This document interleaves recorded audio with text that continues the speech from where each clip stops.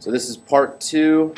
We've already found the components. Now we're going to go ahead and find the time. So I'm going to write the five variables in the y direction. y minus y naught, acceleration, initial velocity, time, and v final in the y. Remember, you do this just in the y or just in the x, no mixing. Okay, so I'm doing this for the y direction. It, for displacement, which is a vector, you start here and you go down 12 meters. So this is a negative 12 meters. Uh, acceleration the y, uh, we have it right here, negative 9.8 meters per second squared. Initial velocity in the y, we already found it, component, negative 3 meters per second. Time, don't know, so I'm trying to find. And v final in the y, don't know. We'll eventually try to find that as well. Okay. So for this first one, I don't care about v final. So I pick my equation, y minus y naught equals v naught t plus 1 half a t squared. Plug in, negative 12 meters equals negative 3 meters per second times t plus 1 half times negative 9.8 meters per second squared times t squared. At this point, it's a quadratic. So you get 0 on one side and your stuff on the other for sake of clarity, remember you have to have this initial if you do this on the test. I am going to rewrite it without the units so that you can see the math or see the quadratic a little bit more clearly. 3t minus 12 equals 0. So I multiplied these two together and then I added this to both sides and added this to both sides. So move the 4.9t squared over, 3t minus 12. You could have moved the 12 over as well. At this point, solve it. Probably graphically is the easiest. If you want to use the quadratic, you can the quadratic equation. This would be A, this would be B, and this would be your C. And you'll get T of approximately 1.3 seconds. All right. At that point, you can figure out how far it goes in the x. So x minus x naught equals vxt. This is the only equation you ever need in the x direction if there's no acceleration. How far goes how fast times how long. Or in this case, displacement equals velocity times time.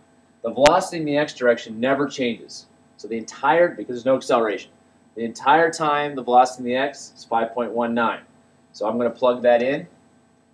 5.19 meters per second times a time of 1.3 seconds. And I will get, uh, what did I get? 6.76 meters about. There's the final answer for that, 6.76 meters. So we've answered the how far from the base of the cliff, but now it also asks how fast is he traveling right before the ground. I'm going to erase a bunch of this.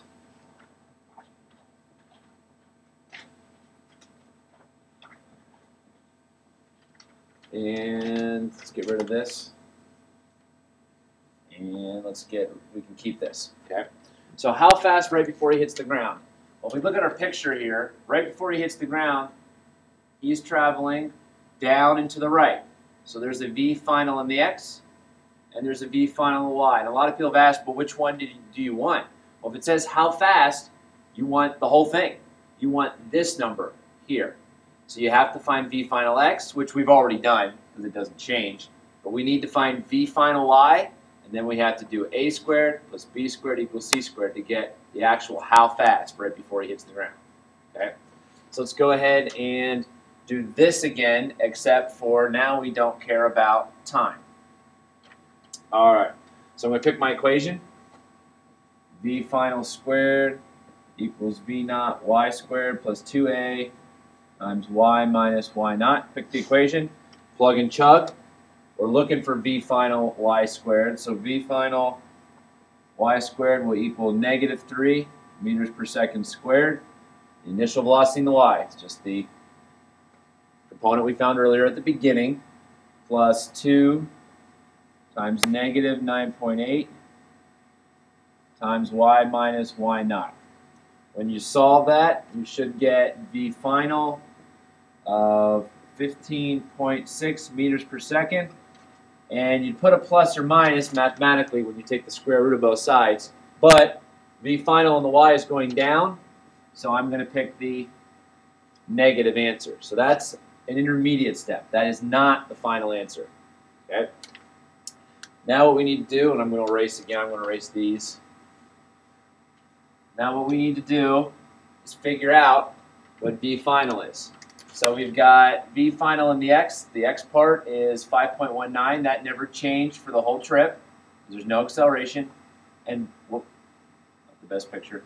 And v final y is 15.6 meters per second down. Tail to tip, we're looking for this. Now it's the Pythagorean theorem. So v final will equal 5.19 meters per second squared plus 15.6 meters per second squared, or v final equal 16.4 meters per second. That's the how fast. If you wanted the direction, you could either find this angle if you've had trig, or you could just say 16.4 meters per second down and to the right. This is the direction that it's going. That's it for problem one, part two.